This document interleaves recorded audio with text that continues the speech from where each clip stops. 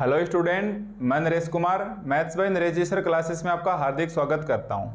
आज फिर से हम सी प्रीवियस जिसके अंदर हमारे पास पेपर फिफ्थ चल रहा है मैकेनिक्स और इसके अंदर हमने यूनिट फेस्ट को स्टार्ट किया हुआ है जिसके अंदर आज हम लेक्चर फोर को पढ़ने वाले हैं और आप जानते हैं कि यूनिट फेस्ट हमारे पास कौन सी बुक के अंदर है डायनेमिक्स जिसके अंदर बुक का पूरा नाम क्या है dynamics of a rigid body यानी स्पष्ट है कि इससे पहले हम इसके तीन लेक्चर कंप्लीट कर चुके हैं उम्मीद है अब तक आप लोगों ने उन तीनों लेक्चर्स को देख लिया होगा और उसके अंदर इक्वेश general equation of motion d'Alembert principles और मोशन ऑफ ट्रांसलेशन को अच्छे से सीखा होगा ठीक है आज हम इस एक्सरसाइज के क्वेश्चन स्टार्ट करने वाले हैं और इसके अंदर एग्जाम्पल काफ़ी इंपॉर्टेंट हैं तो आज से हम एग्जाम्पल और क्वेश्चन स्टार्ट करेंगे तो देखो सबसे पहले हमारे पास एक एग्जाम्पल है बुक के अंदर पहला ही पहला एग्जाम्पल है जो पेज 65 के ऊपर दिया हुआ है जेपीएच की बुक में क्या कह रहा है हमारे पास एग्जाम्पल देखो एक बार पढ़ो इसको कि a plank of mass capital M is initially at rest along a line of greatest slope of a smooth plane incline at an angle alpha to the origin ठीक है फिर आगे दे रखा है कि man of mass M starting from the upper end walks from down the plank so that it does not move और कुछ कुछ हमें इसमें कुछ फाइंड करने के लिए दिया हुआ है ठीक है तो देखो ये एग्जाम्पल हमारे पास काफ़ी इंपॉर्टेंट हैं और ये एग्जाम में हमें पूछे जा सकते हैं तो देखो सबसे पहले एग्जाम्पल कहाँ कैसे स्टार्ट करना है एक स्टार्टिंग में आ गया ए पलेंक पलेंक हमारे पास वैसे पलेंक ही होता है आप इसको ऐसे समझो कि पलाई होती है ना पलाई जिस जिस बेडरूम के रहते हैं सोते हैं उसकी पलाई का एक टुकड़ा ले लो इस प्रकार से ठीक है हम क्या करेंगे जैसे इसको हम बोलते हैं तख्ता बोलते हैं या उसको फटा बॉक्स बोलते हैं वही हमारे पास एक पलाई का टुकड़ा ले लो जैसे अपने बेडरूम के ऊपर जो पलाई होती है उसका हमने एक छोटा हॉरिजेंटल टुकड़ा इसको काट लिया ठीक है अब ये हमारे पास क्या हो गया एक ही प्लैंक हो गया तो पहले तो इस वर्ड को समझो कि हमारे पास प्लैंक क्या होता है तो प्लैंक हमारे पास एक प्रकार से पलाई का ही एक ही टुकड़ा होता है इसका मास क्या दे दिया कैपिटल एम दे दिया इज इनेशली एट रेस्ट यानी बताना चाहता है इस वर्ड का मतलब प्रारंभ में रेस्ट कर रहा है along a line of greatest slope देखो इसको समझना line of a greatest slope क्या होती है line of a greatest slope हमारे पास सबसे पहले सीखना है क्या होती है तो देखो सभी अपने बचपन में जब भी पढ़ते थे तो झूला झूलते थे तो हमारे पास स्कूल में जो फिसलन पट्टी वाला झूला होता था वो किस प्रकार से होता था कुछ ऐसा बना हुआ होता था जैसे ये हमारे पास क्या है ग्राउंड आ गया और ये हमारे पास एक झूला बन गया जो इस प्रकार से हम इसके ऊपर चढ़ते थे यहाँ से यहाँ गए और फिसल के अपन नीचे की ओर आ गए ठीक है अब अपने को ऐसी सिचुएशंस देखनी है कि इसकी कितनी हाइट रखी जाए मतलब इसकी कितनी स्लोप रखी जाए कि इसके ऊपर हम कोई भी वस्तु रखें तो वो फिसले ना देखो सबसे पहले हम इस हिसाब से देखेंगे कि वो वस्तु फिसल के नीचे नहीं आनी चाहिए ठीक है तो देखो अगर हम इसको इतना छोटा सा एंगल लेंगे अगर स्टार्टिंग में मान लो हम एक डिग्री का एंगल लेंगे कोई फर्क नहीं पड़ेगा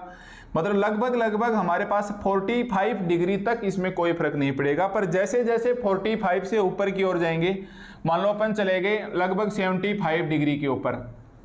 अब इसके ऊपर रखी हुई वस्तु के ऊपर डिपेंड करेगा अगर वो बहुत भारी है तो वो फिसल के नीचे आ जाएगी अगर वो वस्तु हल्की है जैसे मानो 75 डिग्री के ऊपर भी आपने एक बुक रख दी उसके ऊपर तो भी वो नहीं फिसलेगी बट 100 परसेंट नाइन्टी डिग्री पर रखते रखते वो नीचे आ जाएगी तो अप्रोक्सीमेट क्या होता है कि फोर्टी डिग्री तक तो कोई भी इसके ऊपर कितनी भी भारी चीज़ रख दो शायद वो ना फिसले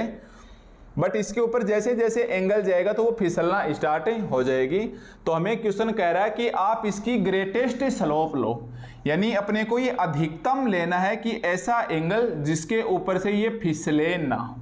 और फिर एक ऐसा एंगल कि जैसे थोड़ा सा और बढ़ेंगे फिसलना स्टार्ट हो जाए तो जब तक ये फिसलेगी नहीं तब तक जो एंगल रहेगा उसको बोलते हैं एंगल ऑफ ए रिपोज ठीक है आप इंटरनेट पे सर्च कर लेना इसको हिंदी में क्या बोलते हैं ध्यान में नहीं है बट इसको हम क्या बोलते हैं एंगल ऑफ रिपोज बोलते हैं को क्या होता है एंगल ऑफ रिपोज का मतलब कोई ऐसी वस्तु की बस वो लास्ट मोमेंट के ऊपर हो इससे अगर एक डिग्री भी बढ़ा दिया तो ये फिसल कर नीचे आ जाए तो वो मोमेंट जहां वो वस्तु फिसले नहीं मैक्सिमम एंगल तो उसको ही हम क्या बोलते हैं एंगल ऑफ ए रिपोज और ये उस टाइम में जो लाइन होती है ये होती है हमारे पास एक great line of greatest slope तो आप तो अपने स्कूल के झूले के हिसाब से याद रखोगे कि हम इसके ऊपर चढ़े और अधिकतम हमें फिसलना नहीं है तो ये ग्राउंड के साथ एंगल क्या बनाएगा हमारे पास से मान लो एंगल थीटा बनाएगा ठीक है तो अब आपकी समझने के लिए क्या है एक तो हमारे पास प्लैंक है और प्लैंक हमारे पास एक पलाई का टुकड़ा हो गया और लाइन ऑफ ग्रेटेस्ट लोब क्या होगी हमारे पास वही झूला हो गया और झूले के ऊपर हमें यहाँ कोई जैसे अपन खुद ही मान लो ये इसके ऊपर ये रखना है प्लैंक रखना है और ये प्लैंक हमारे पास से फिसले ना दो चीज़ों का हमारे इसका ध्यान रखना है ठीक है उसी को हम क्या बोलते हैं जब तक फिसलेगी नहीं वो मैक्सिमम लाइन होगी उसी को हम बोलेंगे ग्रेटेस्ट स्लोप है मतलब उसका ढाल है वो अधिकतम ले लो उससे ज़्यादा लेते साथ ये प्लैंक फिसल के नीचे आ जाएगा ठीक है तो सबसे पहले देखो हमें इसका डायग्राम बनाना है और डायग्राम इस प्रकार से बनाओगे कि ये हमारे पास क्या है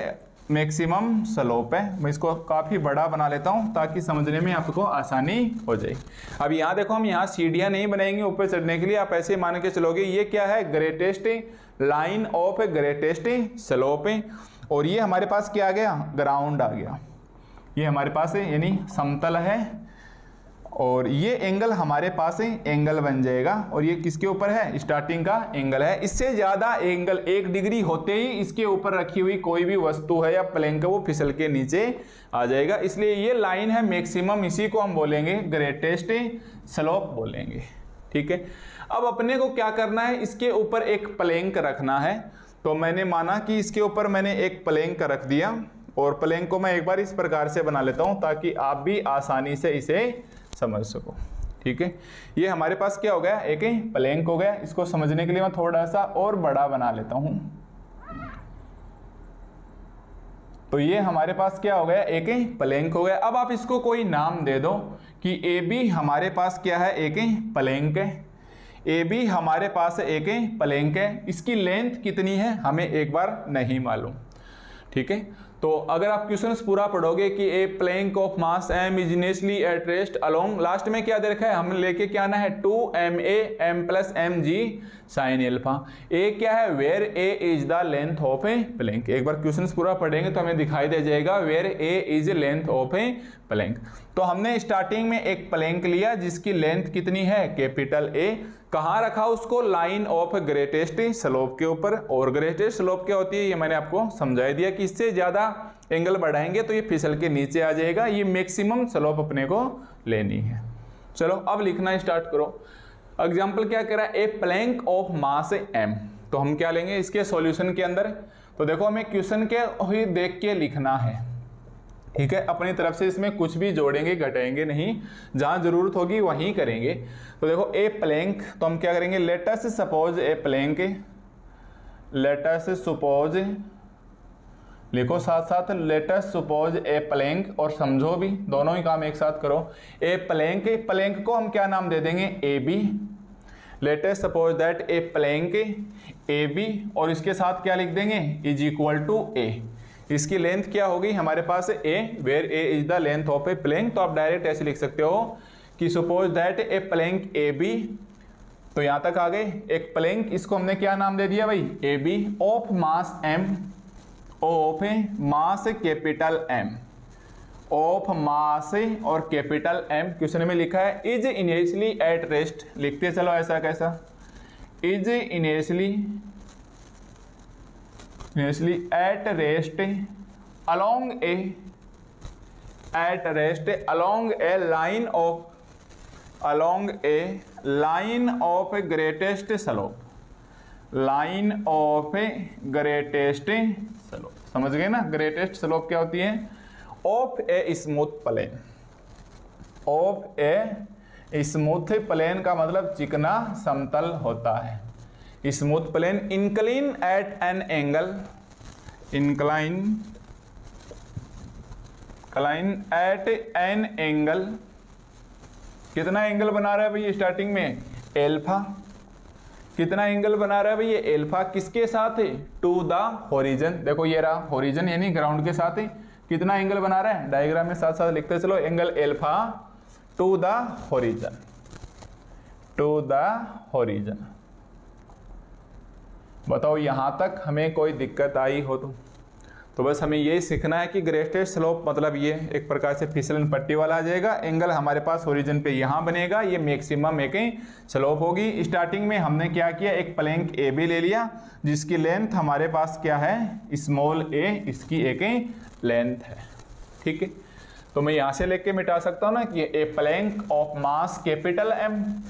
is initially addressed along a line of a along a line of greatest slope of a smooth plane incline at an angle alpha to the horizon मतलब आप यहां तक आ गए इस हिसाब से आपको लिखते हुए यहां तक कोई भी प्रॉब्लम्स नहीं होनी चाहिए ठीक है अब यही हमारे पास पलाई का टुकड़ा नहीं बोलूंगा अब मैं इसको प्लैंक बोल लूँ ठीक है क्या इस प्लैंक का हमारे पास कोई वेट होगा यस yes. इसमें चाहे कम से कम पांच ग्राम ही वजन क्यों ना हो बट इसके अंदर हमारे पास वेट होगा और बताओ इसका वेट ऊपर की डायरेक्शन की ओर लगेगा या लेफ्ट राइट में लगेगा या लेफ्ट में लगेगा या फिर डाउन लगेगा तो आपको पता है वेट बॉडी फोर्स होता है वो हमेशा नीचे की ओर लगता है ग्राउंड की ओर अब बताइए ये प्लैंक हमारे पास ऐसे रखा हुआ है देखो ये प्लैंक हमारे पास है ऐसे रखा हुआ है इसका बॉडी वेट यहाँ लगेगा या फिर यहाँ लगेगा या फिर ठीक इसके बीचों बीच सेंटर के हिसाब से लगेगा तो आप देख सकते हैं कि बॉडी फोर्स है वो हमेशा इसके जस्ट सेंटर के नीचे लगेगा और सेंटर के नीचे लगने का मतलब ये हमारे पास ठीक बीचों बीच इसके मिड पॉइंट के ऊपर हो गया कि नहीं हो गया यानी मध्य बिंदु के ऊपर हो गया कि नहीं हो गया तो ये हमारे पास क्या आ गया इसका बॉडी फोर्स आ गया बॉडी फोर्स आ गया या इसको आप बोल सकते हो वेट लगेगा अब इस पॉइंट को मैं नाम दे देता हूं कैपिटल जी ठीक है इस पॉइंट को हम नाम दे देते हैं कैपिटल जी जी क्या आ गया हमारे पास सेंटर ऑफ ए ग्रेविटी और आपको पता सेंटर ऑफ ग्रेविटी ठीक इसके बीचों बीच लगेगी तो ये हमारे पास क्या आ गया भाई जस्ट इधर तक अब बताओ वेट फोर्स कितना होता है W is equal to M G देखो वेट कितना होता है body force W is equal to M G अब आप बताओ स्मॉल एम रखोगे या कैपिटल एम लोगे तो हमने देखा कि इस प्लैंक का मास हमारे पास कितना है कैपिटल एम तो आपको यहाँ स्मॉल एम ना लेके क्या लेना है capital M into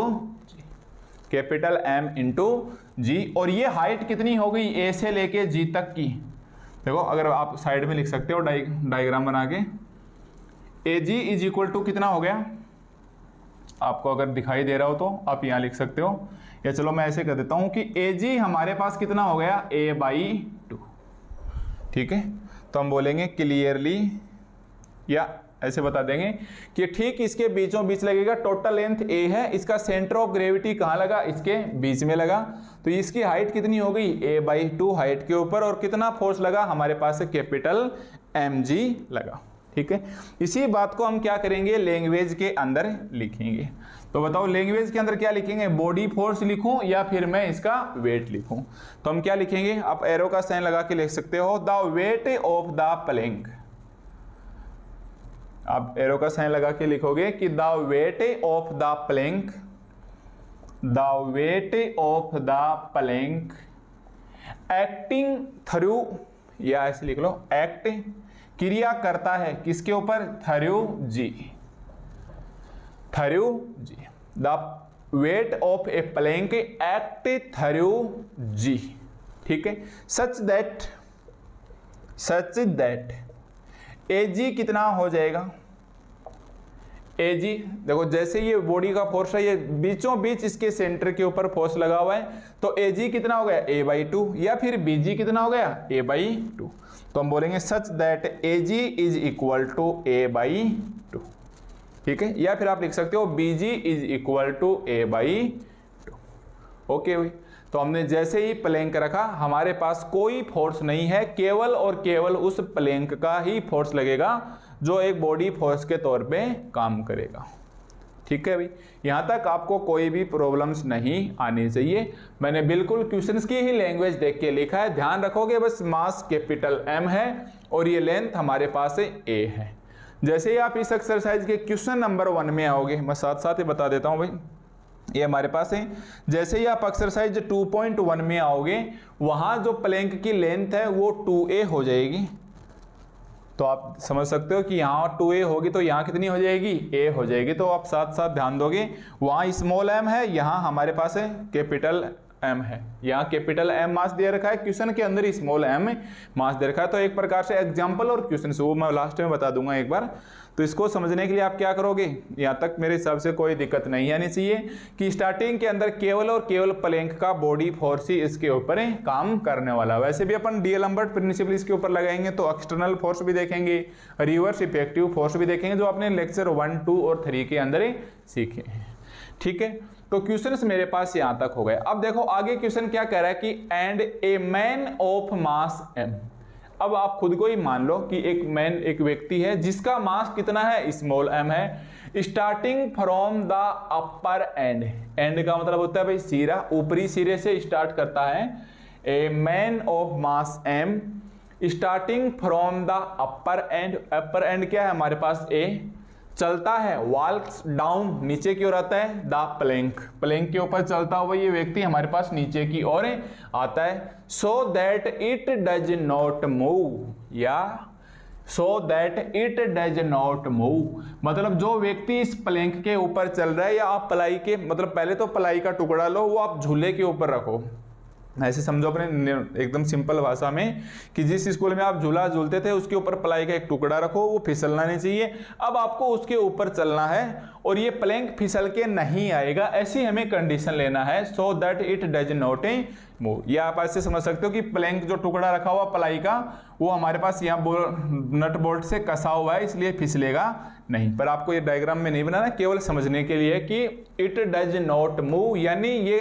प्लैंक फिसल के नहीं आएगा आगे कुछ ऐसे क्वेश्चन आएंगे जिसके साथ साथ ये ऑब्जेक्ट है ये भी साथ फिसल के नीचे आएगा तो उसमें भी आपको समझने में मजा आएगा तो सो so दैट यहाँ तक हो गया अब अपने को क्या करना है इस एक व्यक्ति को यहां से चलाना है इसके ऊपरी सिरे से ही और नीचे की ओर उसको लेके आना है और ये हमारे पास मूव करना नहीं चाहिए so that he gets to other end other कौन सा हो गया भाई दूसरा सिरा बी हो गया इन टाइम यानी हमें इसका टाइम लेके आना है तो कुल मिला के आप क्वेश्चन समझ गए होंगे अब क्या करना है इसके ऊपर एक व्यक्ति को चलाना है ए से और वो व्यक्ति पहुंचना चाहिए बी के ऊपर और ज्ञात करो उसको कितना टाइम लगा ज्ञात करो उसको कितना टाइम लगा क्वेश्चन में हमें इसका टाइम पूछा है कौन कब अदर एंड यानी ऊपरी एंड से चलेगा और दूसरा अदर एंड कौन सा आ गया बी इस सिरे बी के ऊपर पहुंचने में उसे कितना वक्त लगा ये हमें इसका ज्ञात करना है और वो आंसर हमारे पास टाइम कितना चाहिए रूट के अंदर two M A upon M plus M into G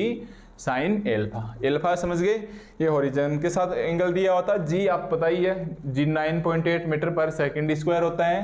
capital M क्या है पलेंक का मास स्मॉल एम क्या है हमारे पास है व्यक्ति का मास ए क्या है इस पलेंक की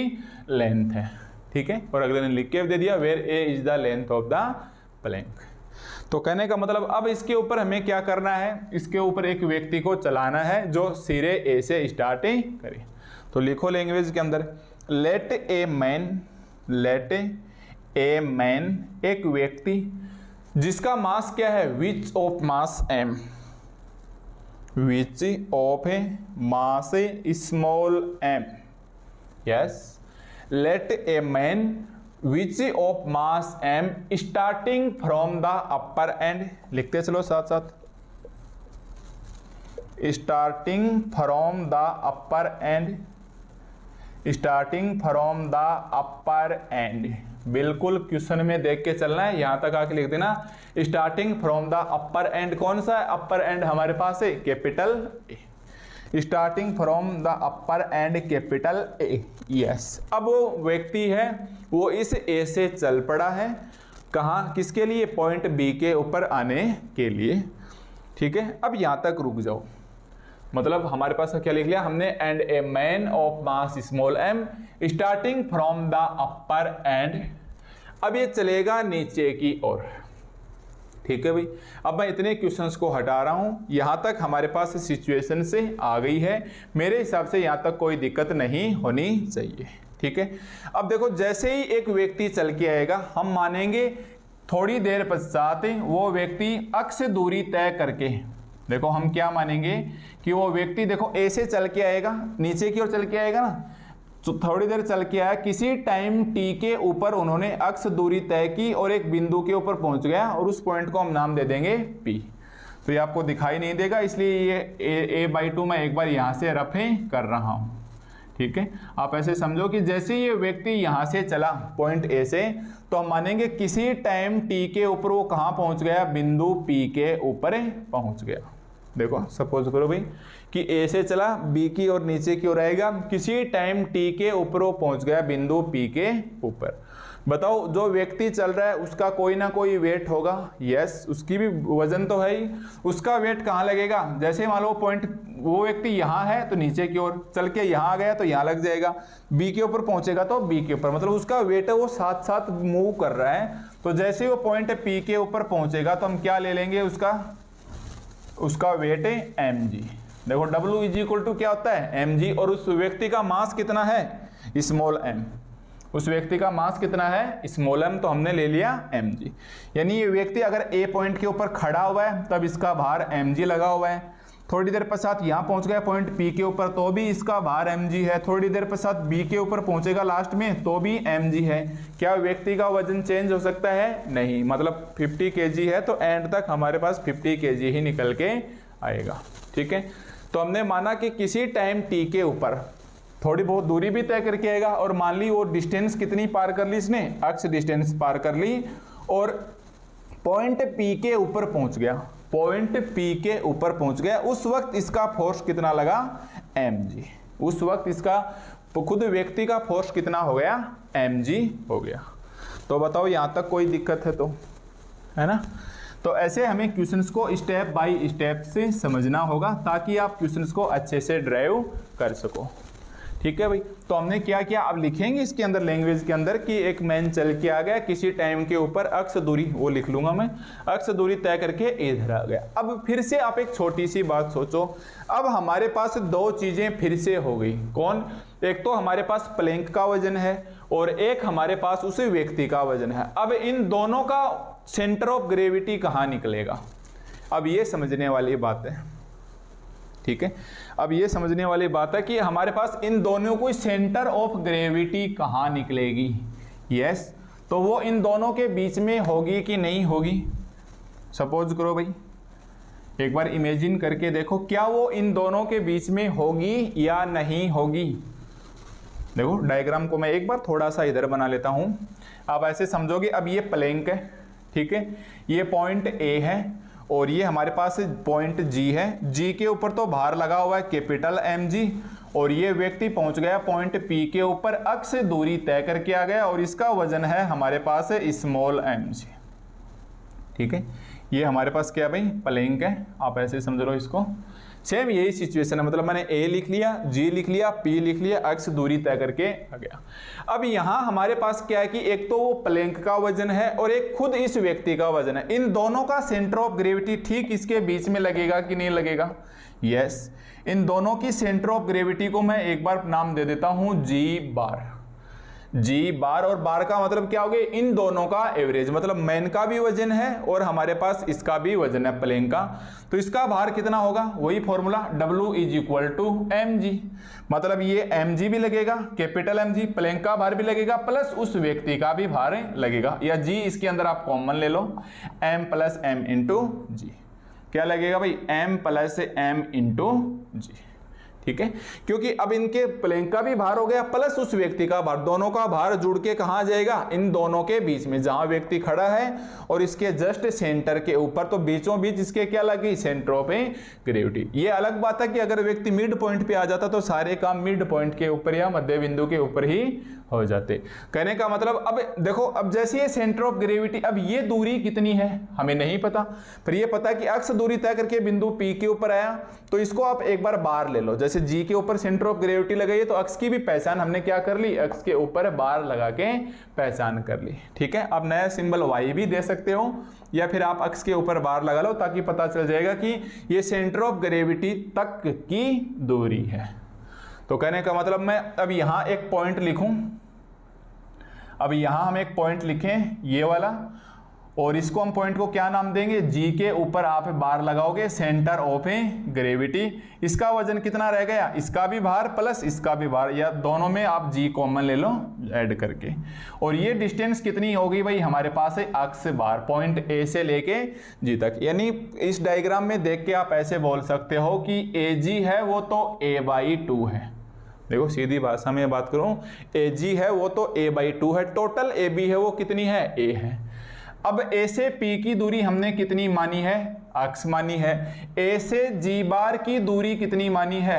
देखो ए अलग है जी बार अलग है कोई भी स्टूडेंट ऐसे नहीं लगाएगा ए जी पूरे के ऊपर बार नहीं लगाओगे भाई क्योंकि मैंने केवल जी के ऊपर लिख रखा है तो ए से जी बार की दूरी कितनी है हमारे पास है अक्स बार है ठीक है इसी पॉइंट के ऊपर वजन कितना लगा हुआ है बॉडी फोर्स से कैपिटल एम जी मैन का स्मॉल एम जी इसके ऊपर सेंटर ऑफ ग्रेविटी दोनों का ऐड हो जाएगा M plus M into G अब इसी बात को मैं लैंग्वेज के अंदर लिखने वाला हूँ ठीक है तो मेरे हिसाब से ये डायग्राम्स आपको समझ में आ गया होगा कि जैसे ही व्यक्ति इसके ऊपर चलेगा खुद व्यक्ति का भार और फिर साथ साथ इस प्लैंक दोनों का भार और इसके ये साथ साथ क्या लग जाएगी सेंटर ऑफ ग्रेविटी ओके भाई तो ये हमारे पास एक प्रकार से डायग्राम हो गया और साथ साथ अपन इस लैंग्वेज को भी ध्यान में रखेंगे और ये पॉइंट्स मैंने साइड में लिख दिया है अब आपसे कोई गलती नहीं होगी इधर ठीक है तो अब मैं लिखूंगा कि let a man which mass small M starting from upper end A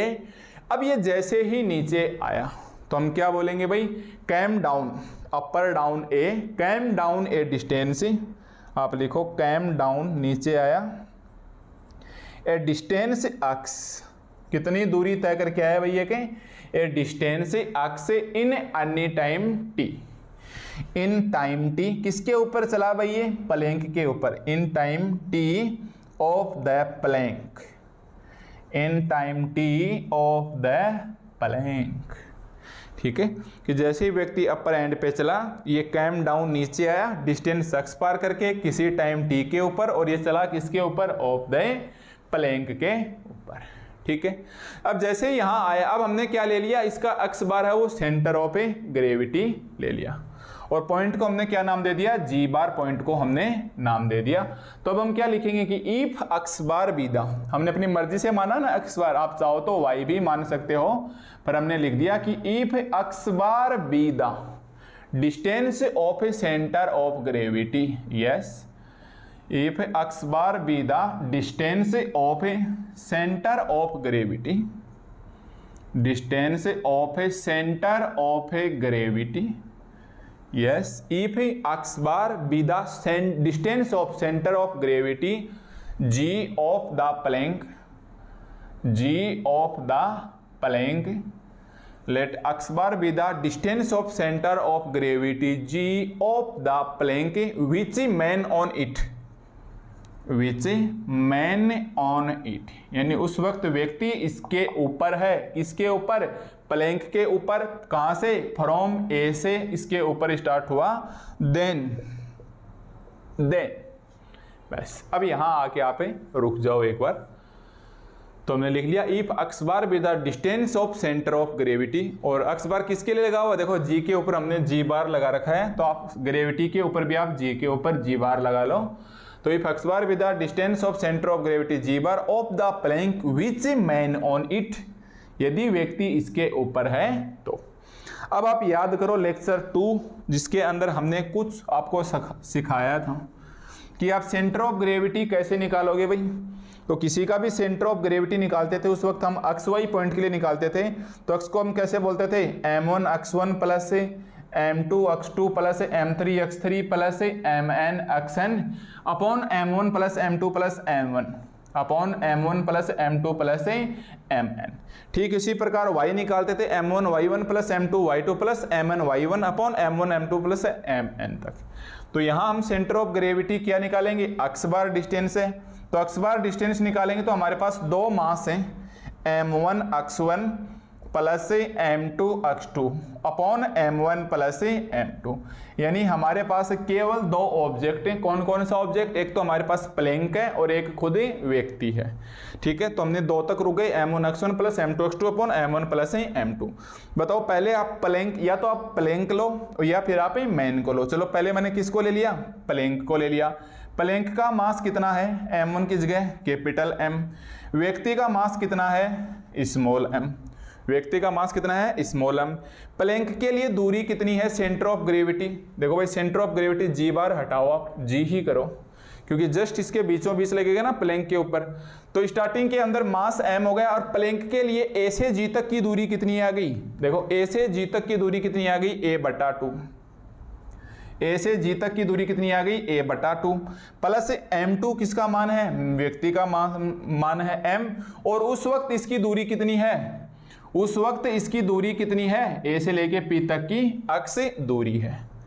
upon M one plus M two तो एम वन की जगह कैपिटल एम और इसकी जगह हमारे पास है स्मॉल एम ठीक है तो ये हमारे पास फॉर्मूला होता है सेंटर ऑफ ग्रेविटी का निकालने के लिए सेंटर ऑफ ग्रेविटी हमारे पास ठीक स्टार्टिंग में इसके बीचों बीच थी तो हमने ले लिया M one X one plus M two X two upon M one plus M two और M one M two capital है एम और स्मॉल एम स्टार्टिंग में ए से लेके जी तक की दूरी हमारे पास से ए बटा टू और ए से लेके पी तक की दूरी स्मॉल एक्स ठीक है अब इसको इधर ले आओ क्रॉस मल्टीप्लाई करो तो ये हमारे पास कितना आ जाएगा और capital M plus small M into X के ऊपर बार लगा दिया इज इक्वल टू ये कितना बच गया M into A by two plus M into X और इसको हम मानेंगे इक्वेशन नंबर वन इसको हम क्या मानेंगे भाई इक्वेशन नंबर वन तो मेरे हिसाब से इक्वेशन वन तक आपको कोई भी प्रॉब्लम्स नहीं होनी चाहिए यहाँ तक हम बिल्कुल स्टेप बाय स्टेप करते आ रहे हैं भले ही हम इस क्वेश्चन में चाहे 50 मिनट पूरी खा जाएं बट ये क्वेश्चन आपके यहीं रिमेंबर हो जाएगा ठीक है अब इसका क्या कर दो आप डिफ्रेंसिएशन कर दो कितनी बार कर दो पिछले वाले टॉपिकों में टू टाइम्स करते आए हैं तो हम क्या लिखेंगे now differentiation equation one now differentiation से इक्वेशन क्यों करेंगे वो अभी आगे चल के क्लियर हो जाएगा नाउ डिफ्रेंसिएशन इक्वेशन वन से और दो बार करेंगे तो उसका शॉर्टकट क्या होता है twice with respect to twice with respect to देखो नाउ डिफ्रेंसिएशन इक्वेशन वन से twice with respect to T both side से वी गेट बोथ साइड से वी गेट इसका हम टू टाइम डिफ्रेंसिएशन करेंगे तो ये देखो कैपिटल एम प्लस एम तो रह जाएगा ऐसा कैसा अक्स के ऊपर गलती से भूल मत जाना भाई अक्स के ऊपर पहले तो आप क्या लगाओगे बार लगाओगे फिर इसके ऊपर दो डॉट लगाओगे दो डॉट लगाने का मतलब टू टाइम्स टी के रिस्पेक्ट में डिफ्रेंसिएशन कोई भी ऐसे करके ऐसे नहीं लगाएगा ये मैं पहले भी बता चुका हूँ ठीक है एक तो इसका डिफ्रेंसिएशन हो गया इज इक्वल टू अब बताओ ए बाई टू हमारे पास क्या है एक फिक्स डिस्टेंस है देखो ए बाई टू हमारे पास क्या है जैसे मान लो स्टार्टिंग में अगर हमने पलाई का टुकड़ा लिया अगर वो फोर मीटर का है तो इसका जस्ट टू मीटर हो गया वो क्या हो गया फिक्स हो गया तो आपको पता है फिक्स का डिफ्रेंसिएशन क्या होता है जीरो होता है प्लस स्मॉल एम अक्स का कितना हो जाएगा भाई अक्स डबल डॉट अक्स का कितना हो जाएगा हमारे पास अक्स डबल डॉट अब आप ये मत सोचना सर देखो अक्स भी एक डिस्टेंस है तो डिस्टेंस भी फिक्स हो गई तो इसका भी डिफ्रेंसिएशन क्या हो जाएगा जीरो बट हमारे पास यहाँ अक्स डिस्टेंस फिक्स नहीं है क्योंकि ये व्यक्ति पॉइंट पी के ऊपर था तो डिस्टेंस अक्स है थोड़ी देर पश्चात यहाँ आएगा चलते चलते यहाँ तक आएगा हालांकि ये बात अलग है कि लास्ट अधिकतम अक्स किसके बराबर होगा लास्ट में अक्स किसके बराबर होगा ए के बराबर पर किसी किसी पॉइंट के ऊपर हम एक्यूरेट डिस्टेंस नहीं बता सकते तो इसका मतलब कंटिन्यू कौन चेंज हो रही है डिस्टेंस चेंज हो रही है जैसे जैसे वो व्यक्ति चल रहा है तो डिस्टेंस हमारे पास एक वेरिएबल हो गया और आपको पता है वेरिएबल का डिफ्रेंसिएशन होता है और अचर होता है या कॉन्स्टेंट का डिफ्रेंसिएशन जीरो होता है तो हम इस अक्स का हमने टू टाइम्स कर दिया अक्स डबल डॉट ठीक है भाई ये एक्स फिक्स नहीं है जो चेंज होता रहता है वही हमारे पास क्या होता है वेरिएबल होता है तो ये मेरे पास क्या आ गई इक्वेशंस नंबर टू आ गई अब देखो यहाँ तक इक्वेशंस टू को नाम देना चाहो तो ठीक है नाम नहीं देना चाहो तो आप इसको डायरेक्ट इक्वेशंस टू ही लिखा रहने दे सकते हो ठीक है फिर भी अपन क्या करेंगे इसको थोड़ा सा स्टैंडर्ड नेम देंगे और वो नेम हमारे पास क्या रहेगा कि जो इक्वेशन से टू है ये क्या देती है भाई दो डॉट का मतलब क्या हो गया कि इसका डी टू अक्स बटा d t square x bar के ऊपर यहां भी दो डॉट का मतलब कितना हो गया डी टू अक्स बटा डी टी स्क्वायर और इसको क्या बोलते हैं भाई तावरण या इंग्लिश में अस्कलरेशन से बोलते हैं ठीक है तो हम क्या लिखेंगे आप लिखोगे अगर आपके एग्जाम में याद आ जाए तो लिख देना नहीं आ जाए तो कोई बात नहीं एक दो लाइन्स आप छोड़ भी सकते हो तो हम क्या लिखेंगे कि इक्वेशन से टू है वो हमारे पास क्या देती है gives the acceleration gives the acceleration gives the acceleration किसके लिए देती है भाई of the centre of a gravity of the centre of a gravity of the centre of a gravity किसके लिए ऑफ द सिस्टम इस पूरे वाले सिस्टम के लिए ऑफ द सिस्टम ठीक है और due to motion of a man पूरी लैंग्वेज लिखो आप due to motion of a man यानी ये क्या करना चाहेगा जब वो व्यक्ति गति कर रहा है उस दौरान ये सेंटर ऑफ ग्रेविटी के ऊपर त्वरण को प्रदान करेगा ठीक है ड्यू टू मतलब के दौरान मोशन ऑफ ए मैन कि जैसे एक व्यक्ति इसके ऊपर चलता हुआ है उस दौरान ये सेंटर ऑफ ग्रेविटी के ऊपर किसको डिनोट करेगा तावरण को डिनोट करेगा या अस्कलरेशन को डिनोट करेगा तो ये लाइन्स अगर इतनी एग्जाम में याद आ जाए तो लिख देना नहीं आए तो आप इक्वेशन टू को इक्वेशन टू तक ही रहने देना ठीक है भाई तो ये हमारे पास था कि एक प्लैंक है एक व्यक्ति है इसके ऊपर उसको हमने चलाना स्टार्ट कर दिया है अब वो चलते चलते यहाँ आ रहा है अब हमें उसका टाइम निकालना है ठीक है भाई तो यहाँ तक आप इसको उतारो मैं इसे एक बार रफ कर रहा हूँ क्योंकि आगे हमें इसकी ज़रूरतें रहेगी तो मैं लिख सकता हूँ कि ये हमारे पास क्या आ गई इक्वेशंस नंबर है टू को आप ध्यान में रखोगे ठीक है अब स्टार्ट होता है हमारे पास यहाँ अपना टॉपिक मेन क्वेश्चन की जो रीड की हड्डी बोलते हैं या जो हमें निकलना है यहाँ से बाहर अब वो स्टार्ट होगा अब यहाँ तक इस सिस्टम को हमने अपने कागज़ के ऊपर या अपने पेन डिनोट कर लिया है कोई प्रॉब्लम्स नहीं आनी चाहिए अब देखो कि और कौन कौन से फोर्सेस लगे हुए हैं एक व्यक्ति चल के आ रहा है केवल हमने अभी तक बॉडी फोर्स की बातें की है अब बताओ क्या इस पूरे सिस्टम के दौरान इसके ऊपर कोई बाह्य फोर्स नहीं लगेगा यस yes. एक्सटर्नल फोर्स से हर एक थिंग या हर एक वस्तु के ऊपर अन्य टाइम लगेगा ही लगेगा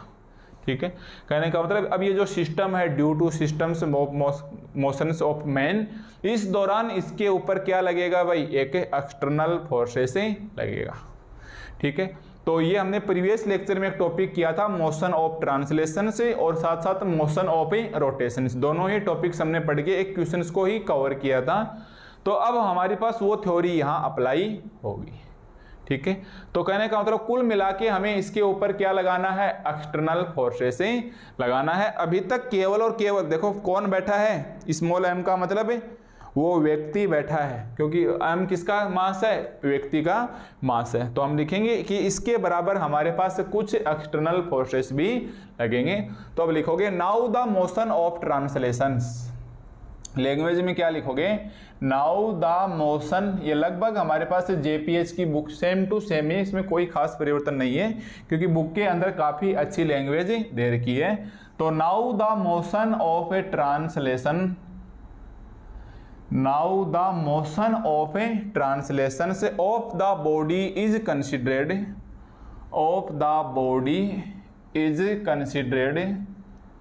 या कंसिडर कि हमने उस वक्त माना as the motion of its centre of gravity बात यही निकलेगी as the motion of as the motion of a centre of gravity centre of a gravity जी आप लिखोगे सी डॉट ए जी ठीक है अज्यूमिंग इट ऑल अज्यूम समझाऊंगा मैं इस लाइन को assuming it all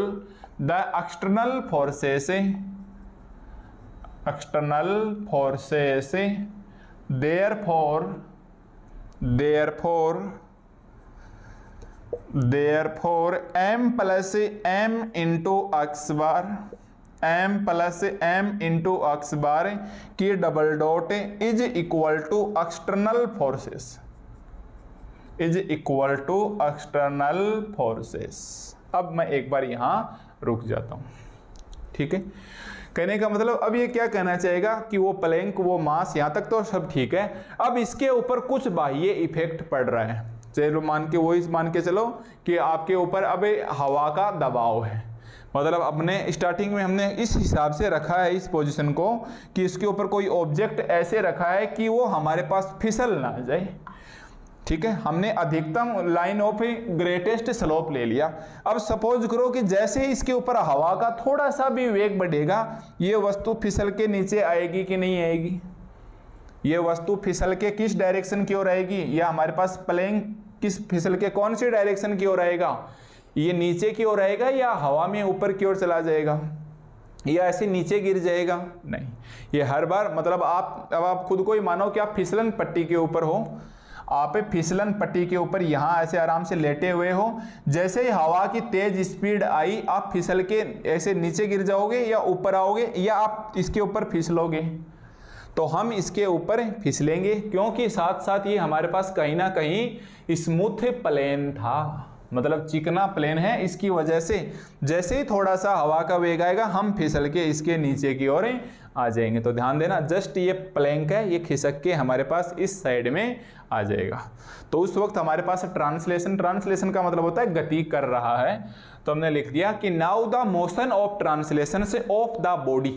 साथ साथ अपनी बॉडी आ रही है अपन खुद मैन है ना तो is considered as the motion of centre of gravity हमने माना जो ट्रांसलेशन लग रहा है वो सब किसके आसपास लग रहा है सेंटर ऑफ ग्रेविटी के रिस्पेक्ट में लग रहा है assume is it all the external forces ठीक है तो एक्सटर्नल फोर्सेस की वजह से जो भी हमारे पास फोर्सेस लगेगा ये फिसल के नीचे की ओर आएगी अब बताओ ये नीचे की ओर आ रही है तो जस्ट प्लैंक के पैरालेल है या प्लैंक के परपेंडिकुलर है सोचो कि हमारे पास जैसे ये सपोज करो कि ये हमारे पास क्या है एक एक प्लैंक है और इसके ऊपर ये हमारे पास एक मैन है ये जो मार्कर का आपको ढक्कन दिखाई दे रहा है ये इसके ऊपर है एक मैन है ठीक है स्टार्टिंग में हमने इसको ऐसे यहाँ रोका हुआ है स्टार्टिंग में हमने इसको यहाँ ऐसे रोका हुआ है जैसे देखो थोड़ा सा हवा की स्पीड बढ़ेगी एक्सटर्नल फोर्सेस लगेगा ये फिसल के 100 परसेंट हमारे पास नीचे की ओर आएगा ठीक है भाई अब ये नीचे की ओर आएगा तो ये हमारे पास इस प्लैंक के क्या हो गया इस प्लैंक के ऊपर ही तो मूव करेगा ये तो प्लैंक के पैरालेल हो गया प्लैंक के क्या हो गया पैरालेल हो गया तो हम यहाँ क्या लिखेंगे भाई कि एक्सटर्नल फोर्सेस हैं वो किसके ऊपर एक्टिंग करेंगे external forces acting parallel on the plank parallel on the plank parallel on the plank ठीक है जैसे ही स्टार्टिंग में हमने ठीक इस प्रकार से बांधा हुआ था कि बस कुल मिला के यहाँ रुका हुआ है बस फिसलना नहीं चाहिए अब जैसे ही एक्सटर्नल फोर्सेस आएगा वो तो इसको क्योंकि हमने अधिकतम पोजीशन पे तो पहले ही इसको रोक के रखा है जैसे वो फिसलेगा वो जस्ट इसके ऊपर फिसल के आएगा मतलब जो ट्रांसलेशन मोशन होगा वो हमारे पास से पैरालेल होगा तो हमने लिख दिया कि m plus m into x double dot is equal to external forces acting parallel to the plank अब देखो मैंने लेफ्ट साइड है इसको ऐसा कैसा रखा है कहीं आप चक्कर में पड़ जाओ कि मैंने इसको क्यों लिखा बात यह थी कि उस वक्त तो हमारे पास कौन बैठा था व्यक्ति बैठा था अब हमारे पास साथ साथ कौन और आ गए एक्सटर्नल फोर्सेस और आ गए पहले तो इसका केवल बॉडी फोर्स काम कर रहे थे इन दोनों के अब हमारे पास ही जो एक्सटर्नल फोर्सेस हैं उनको भी अप्लाई करना तो वो कहाँ अप्लाई करेंगे वही साइड में तो आएगा लेफ्ट साइड में तो हमारे पास ही ऐसा कैसा रहने वाला है सेंटर ऑफ ए ग्रेविटी क्योंकि ये तो चेंज नहीं होगा डॉट पॉइंट है ये तो हमारे पास ऐसा कैसा रहेगा वो व्यक्ति अगर यहाँ से यहाँ तक आ जाएगा तो अभी इस प्लैंक का सेंटर ऑफ ग्रेविटी तो ये रहने वाला है क्योंकि प्लैंक हमारे पास फिक्स है वो हमारे पास मूव नहीं करेगा does not a move okay अब मेरे को ये देखना है कि एक्सटर्नल फोर्सेस से acting on the plank parallel ये क्या होता है तो अब मैं लिखूंगा नेक्स्ट स्टेप के अंदर और एम प्लस एम और m plus m into x bar double dot is equal to m g sine alpha हम क्या लिखेंगे m plus m into g sine alpha हम यहाँ लिखेंगे m plus m into g sine alpha और इसको मैं नाम दूंगा इक्वेशंस नंबर थ्री अब मैंने इसे ऐसा क्यों लिखा ये आपको समझना है ठीक है हमने क्या लिखा m plus m into g sine alpha अब आप इसको थोड़ा सा ध्यान से समझना भाई क्योंकि अब यहाँ हमारे पास से प्योर फिजिक्स काम करने वाली है यस yes? हमारे पास से प्योर फिजिक्स इसके अंदर काम करने वाली है इस डायग्राम को मैं एक बार ऐसे बना लेता हूँ वापस कि हमारे पास एंगल एल्फा था ये हमारे पास क्या था इसके ऊपर एक प्लैंक था अब देखो प्लैंक को मैं एक बार बिल्कुल छोटा सा बना लेता हूँ कि हमारे पास क्या है एक प्लैंक है ठीक है जैसे ही इसके ऊपर एक्सटर्नल फोर्सेस लगेगा इसके ऊपर चार चीज़ें काम करेंगी मान लो ये हमारे पास क्या है कहीं पलेंक है जैसे ही इसके ऊपर एक्सटर्नल फोर्सेस लगेगा एक तो ये हमारे पास फिसल के नीचे की ओर आएगी अब देखो ये हमारे पास क्या है चिकना समतल है या स्मूथ प्लेन है तो जैसे देखो आप मान लो अपने कमरे में किसी बॉक्स को खिसकाते हो तो अगर वो नीचे से प्लेन नहीं है तो आप उसको ले जाना काफ़ी कठिन होगा या अगर नीचे से वो बिल्कुल ऐसे चिकना फर्श बना हुआ है उसके ऊपर जैसे ही हम फोर्स कोई भी ऑब्जेक्ट या बॉक्स वगैरह खिसकाएंगे तो यहां उसके क्या लगेगा घर्षण बल लगेगा या इसको इंग्लिश में आप क्या बोलेंगे इसके ऊपर फ्रिक्शन फोर्सेस लगेगा फिर उस बक्से का वजन है वो नीचे की ओर काम करेगा बॉडी वेट एक इसके हमारे पास क्या काम करेगा नॉर्मल मतलब उसके परपेंडिकुलर मैंने एक पहले वाले लेक्चर में बताया था कि कोई भी ऑब्जेक्ट पे हमेशा चार चीज़ें काम करती हैं ठीक है जैसे मान लो आप कभी भी बाइक से आपने ड्राइव किया होगा जैसे ही आप बाइक का यहाँ ब्रेक लगाते हो तो आप आगे की ओर जाते हो पीछे की ओर जाते हो फिर एक नॉर्मल अपने को कंट्रोल करता है और साथ साथ अपना और बाइक का वेट भी नीचे की ओर है तो ये चारों फोर्स अगर इक्लिब्रियम में हो यानी साम्य अवस्था में हो साम्य अवस्था में होने का मतलब ये फोर्स वन ये फोर्स टू ये फोर्स थ्री और ये body force four total force अगर हमारे पास जीरो होगा तब तो हमारे पास इक्लिब्रियम या साम्य अवस्था बोलेंगे ठीक है तो ठीक उसी प्रकार हमारे पास ये चार चीज़ें लिखी हुई हैं आप इसे साइड में रफ में बनाओगे कि हमारे पास फ्रिक्शन फोर्स है और बॉडी वेट कितना है भाई हमारे पास अब की बार m plus m into g देखो बॉडी फोर्स किसका है उस प्लैंक का भी और हमारे उसके ऊपर जो व्यक्ति चल रहा है उन दोनों का भी और वो हमारे पास कितना आया था m plus m into g अब ये नीचे की ओर ये एंगल एल्फा है तो ये बनेगा फिजिक्स के हिसाब से small m plus m into sine alpha ये बनेगा हमारे पास m plus m into cos alpha बस ठीक है ये परपेंडिकुलर है 90 डिग्री के ऊपर तो बनेगा m plus M sine alpha और ये इसके पैरालेल है ये आपको दिखाई नहीं देगा ये प्लैंक खुद परपेंडिकुलर है और परपेंडिकुलर के पैरालेल में ही क्या है मतलब यही प्लैंक है और और यही हमारे पास मैन इस डायरेक्शन में आ रहा है और ये खुद इसके परपेंडिकुलर है तो यहाँ हमारे पास इस डायरेक्शन में बनेगा m plus m into sine alpha और ये बनेगा m प्लस एम इंटू देखो m plus m into g है ये बनेगा m plus small m into g sine alpha तो आप यहाँ से एक बार थोड़ा सा रफ में बना लो ये हमारे पास फिजिक्स का रूल्स है तो इस वजह से आपको समझ में आ जाएगा कि जब भी आप इसे पढ़ने बैठो तो आप ऐसे बनाओ कि ये हमारे पास क्या है प्लैंक है ये हमारे पास क्या है प्लैंक है इस साइड में हमारे पास जो फोर्स लगा वो तो लगा m plus m into m plus m into g sine alpha m plus m into g sine alpha sine alpha इधर लगेगा वो लगेगा m plus m into g cos alpha इसका वेट है मतलब इन दोनों का जो कॉमन होता है वो लगेगा m plus m into g इस साइड में कंट्रोल करने के लिए फ्रिक्शन फोर्स लगेगा और इसके ऊपर हमारे पास नॉर्मल जिसको हम अभिलंब बोलते हैं या कैपिटल एन लगेगा अरे ठीक उसी प्रकार जैसे आप निकाला करते हैं ना कि ये पॉइंट पी है ये पॉइंट आर है ये थीटा है तो परपेंडिकुलर हो गया ये आर कॉस थीटा और ये आर साइन थीटा अब इसको थोड़ा आज ठीक उसी प्रकार है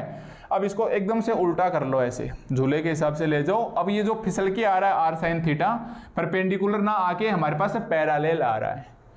देखो ये हमारे पास परपेंडिकुलर ना आके पैरालेल आ रहा है तो ये वाली पोजिशन है ये इस वाली पोजिशन के ऊपर आ रहा है तो आर साइन थीटा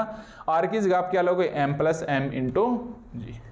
ठीक है तो कुल मिला के आपको इस इक्वेशन थ्री तक इस प्रकार से चलते हुए आना है कि m plus capital m into x double dot left side हमारे पास ऐसा कैसा रहेगा राइट साइड में आ गया m plus m into g sine alpha ठीक है भाई तो ये आपका क्वेश्चन था जो आपको स्टेप्स बाय स्टेप्स आपको समझने थे यहाँ तक अगर आप अच्छे से समझ चुके हो तो अब आगे इसके अंदर प्योर कैलकुलेशन है उसमें समझने के लिए कुछ भी नया नहीं है ठीक है उसके अंदर समझने के लिए अब कुछ भी नहीं है आगे अब हम इस क्वेश्चन को टॉपिक को स्पीड से कर सकते हैं यानी हमारे पास आप एक इक्वेशन टू तक आ गए और एक आप इक्वेशन नंबर थ्री तक आ गए ओके भाई अब कंपेयर कर लो कंपेयर इक्वेशन से टू एंड थ्री अब हम क्या करेंगे कंपेयर इक्वेशन से टू एंड थ्री अब देखो आगे समझने के लिए इसमें कुछ भी नहीं बचा है जो मेन बात थी वो मैं आपको समझा चुका हूँ एम प्लस देखो कंपेयर करो लेफ्ट साइड बराबर है राइट साइड में कितना आ गया small m x double dot पहले इसको ले लो और फिर इसको लिखो capital m plus m into g sine l ठीक है भाई या अक्स डबल डॉट को इधर रखो अक्स डबल डॉट को इधर रखो एम को इधर ले जाओ तो m plus m upon m into g sine alpha इसको हम नाम देंगे इक्वेशन नंबर फोर ठीक है अब आप इसका इंटीग्रेशन कर दो इंटीग्रेशन करेंगे तो क्या आएगा हम बोलेंगे integrating it integrating integrating it integration करेंगे तो इसका एक डॉट हट जाएगा देखो इंटीग्रेशन करेंगे तो इसका एक डॉट हट जाएगा और ये कितना बचेगा m plus m upon m और ये g साइन एल्फा और इंटू में t इंटू में t plus a constant c plus a constant c ठीक है ऐसे नहीं समझ में आए तो आप इसको ऐसे लिख सकते हो देखो डी टू अक्स बटा डी टी स्क्वायर वास्तव में अक्स डबल डॉट का मतलब कितना है डी टू अक्स बटा डी टी स्क्वायर और यहाँ हमारे पास टी है ही नहीं यहाँ हमारे पास टी है ही नहीं इसका मतलब ये कंप्लीट क्या है कॉन्स्टेंट है क्या डी टू एक्स बटा डी टी स्क्वायर को मैं ऐसे लिख सकता हूँ डी बटा डी टी और डी एक्स बटा डी टी यानी ये डी टी हमारे पास आ जाएगा इधर अब जैसे दोनों पक्षों में इंटीग्रेशन करेंगे ये कांस्टेंट है तो इसका डी हटके ये तो कितना बच गया डी एक्स बटा डी टी और डी टी का कितना हो जाएगा टी प्लस क्या आ जाएगा कांस्टेंट और डी एक्स बटा डी टी को क्या बोलते हैं अक्स डॉट बट आपको अब इस मेथड से नहीं आपको सीधा करना है कि जैसे डबल डॉट हो या ऐसे सोचो कि सिंगल अक्स है एक बार अवकलन करोगे डॉट लगा दो दो बार अवकलन करोगे तो दो डॉट लगा दो अब इसका समाकलन करोगे इंटीग्रेशन तो एक डॉट लगाओ दोबारा इंटीग्रेशन करो तो ये अक्स आ जाएगा ठीक है डॉट का मतलब होता है टी के रिस्पेक्ट में होता है तो आप टी के रिस्पेक्ट में करोगे तो यहाँ क्या जाएगा इंटू में टी प्लस सी इंटू में टी प्लस सी यानी किसके बराबर आ गया भाई हमारे पास अक्स डॉट के बराबर आ गया ठीक है अब हम क्या लिखेंगे अप्लाइंग द कंडीशन इस कॉन्स्टेंट सी को हटाना है कि नहीं हटाना अब हम क्या करेंगे applying the condition applying the conditions अब हम इसके ऊपर हम कंडीशन अप्लाई करेंगे और कंडीशन आप लिखोगे एक तो टी है एक अक्स है एक अक्स डॉट है t is equal to zero x is equal to zero और x dot is equal to zero condition apply करेंगे t is equal to zero x is equal to zero और x dot is equal to zero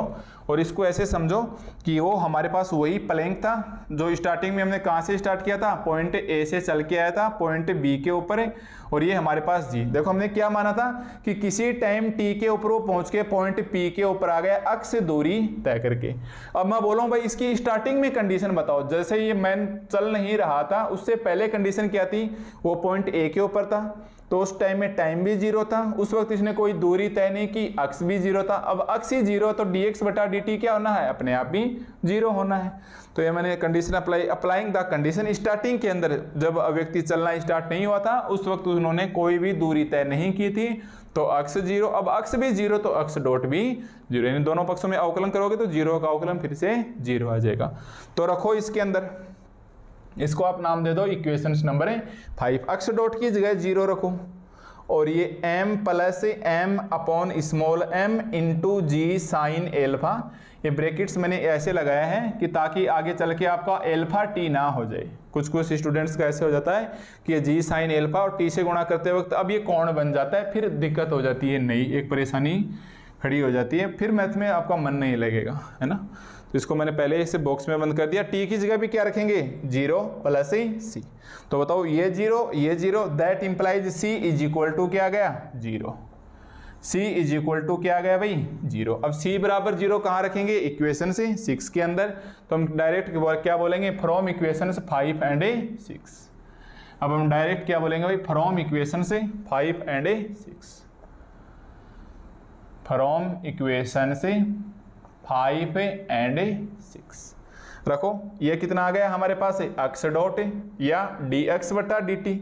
ये कितना आ गया m plus m upon small m ये capital m है भाई into में g साइन एल्फा इंटू में g साइन एल्फा इंटू में t और c की जगह आपको क्या रखना है जीरो रखना है c की जगह आपको क्या रखना है भाई जीरो रखना है अब आप दोबारा इंटीग्रेशन कर दो अब हम क्या लिखेंगे अगेन इंटीग्रेशन अब हम क्या करेंगे भाई अगेन इंटीग्रेशन या again integrating it again integrating it तो बताओ अक्स डॉट का मतलब डी एक्स बटा डी टी है इसका मतलब ये कितना है डी एक्स बटा d t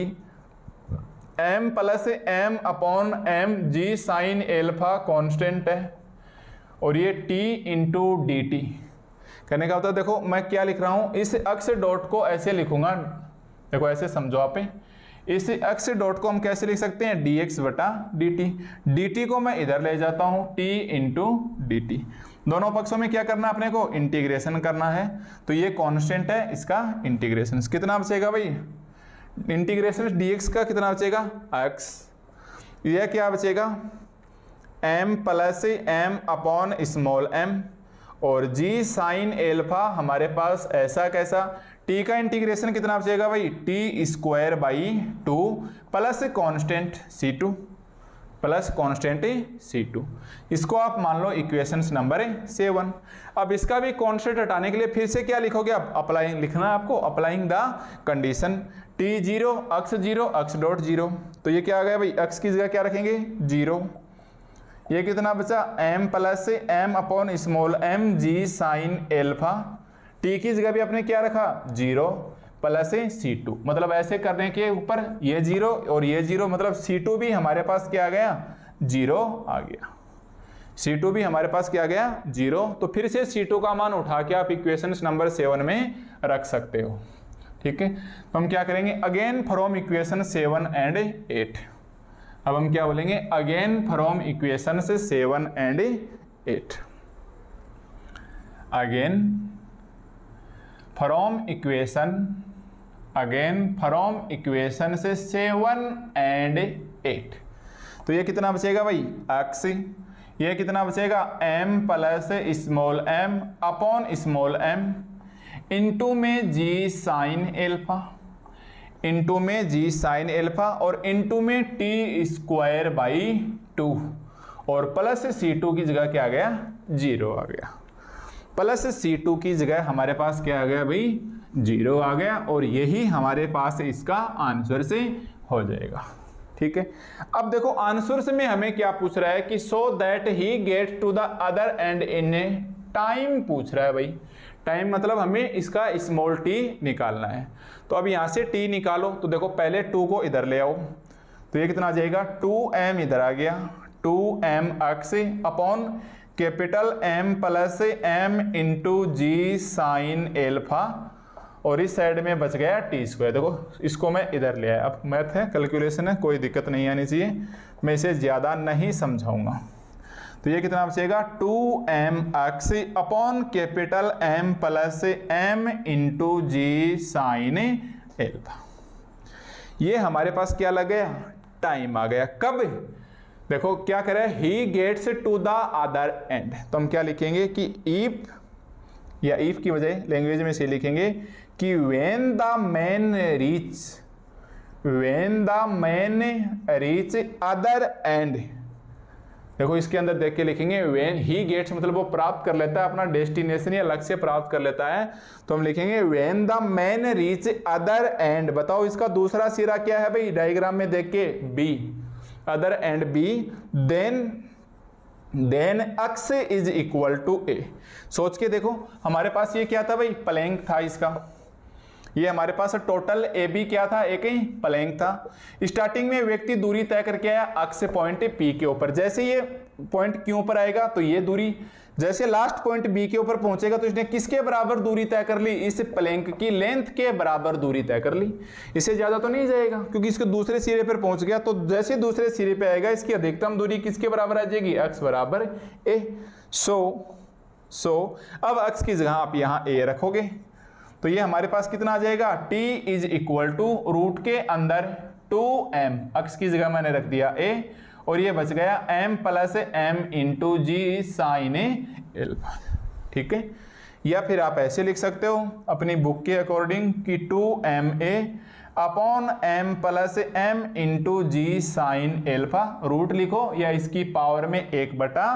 दो लिखो और साथ साथ बताओगे कि वेयर ये ए क्या है where a is the length of a plank where a is the length of the plank ठीक है तो ये हमारे पास एक एग्जाम्पल था ये हमारे पास एक एग्जाम्पल था जो हमने लगभग वन हावर कंप्लीट कर लिया है और मेरे हिसाब से इस एग्जाम्पल में मैंने कोई भी कमी नहीं छोड़ी है कुछ कुछ कमियां रहेंगी क्योंकि फिजिक्स है बीच बीच में फिजिक्स है तो ये बातें आपको माननी पड़ेंगी कि इस साइड में एक्शन होगी इस साइड में रिएक्शन होगी इस साइड में फोर्स होगा इस साइड में ये परपेंडिकुलर घटक होंगे तो ये हमारे पास साइन एल्फा अगर मैं ऐसे लिख देता कि देखो भाई ये तो हमारे पास कितना आ गया जैसे आर है और ये थीटा है ये आर साइन थीटा तो आपके समझ में आता है कि क्यों आता है पर ये हमारे पास जैसे ये वाली दूरी हटके इधर ही आ गई पैरालेल हो गई तो ये हमारे पास m plus m into g sine alpha यानी m plus m into g sine alpha ऐसी कुछ कुछ बातों को आपको ध्यान रखना है बाकी मैंने डायग्राम्स को अच्छे से ड्राइव किया है ठीक है अब देखो आप जस्ट क्वेश्चन से नंबर वन देखोगे अब आप क्या करोगे इसके अंदर एक्सरसाइज वन का क्वेश्चन देखो अब आप क्या करोगे एक्सरसाइज 2.1 है साथ साथ इस क्वेश्चन को करने के तुरंत बाद आप एक्सरसाइज 2.1 में क्वेश्चन नंबर वन करोगे जो मेरे पास इस वक्त जो जे की बुक है इसमें पेज सेवनटीन के ऊपर है पेज सेवनटीन वन के ऊपर है ठीक है इस क्वेश्चन में आपको स्मॉल एम की जगह तो रखना है कैपिटल एम और ए की जगह आपको रखना है टू ए ठीक है भाई इस क्वेश्चन में आपको स्मॉल एम की जगह तो क्या रखना है कैपिटल एम और कैपिटल एम की जगह उल्टे हैं भाई कैपिटल एम की जगह स्मॉल एम और स्मॉल एम की जगह कैपिटल एम और ए की जगह अपने को क्या रखना है टू ए तो बताओ आंसर कितना आ जाएगा टू कैपिटल एम और ए की जगह टू ए तो फोर एम आ जाएगा ना देखो इसका हमारे पास आंसर कितना आया ये वाला आंसर आया ए की जगह टू ए रखोगे ए की जगह टू ए रखोगे स्मॉल एम की जगह कैपिटल एम रखोगे स्मॉल एम की जगह कैपिटल एम और स्मॉल एम की जगह आप पे कैपिटल एम रखोगे तो ये कितना आ जाएगा रूट के अंदर है फोर एम ए अपॉन वापिस m plus m into g sine alpha और ये पूरा रूट के ठीक है दोनों उसमें भी प्लैंक है बस उसके अंदर लेंथ चेंज हो गई और उसका मास अदला बदली कर दिया है ठीक है भाई तो ये हमारे पास आज का लेक्चर था मैं मानता हूँ इसके अंदर हमने पूरे 60 मिनट ले लिए बट ये भी कंफर्म हो गया कि लगभग लगभग आपके पास हम लैंग्वेज किस प्रकार से लेने वाले हैं क्वेश्चन के अंदर देख के वो आप अच्छे से समझ चुके हैं अब हम नेक्स्ट लेक्चर के अंदर एग्जाम्पल नंबर टू थ्री इसके अंदर और पढ़ने वाले हैं ताकि हमारे पास बहुत सारे कॉन्सेप्ट अभी इसमें क्लियर करने बाकी हैं और मैं पहले बता देता हूँ एग्जाम्पल काफ़ी इंपॉर्टेंट हैं इस एक्सरसाइज के अंदर आपको एग्जाम्पल ही पूछे जाने वाले हैं ठीक है तो अब आपको मिलते हैं नेक्स्ट लेक्चर नंबर फाइव के अंदर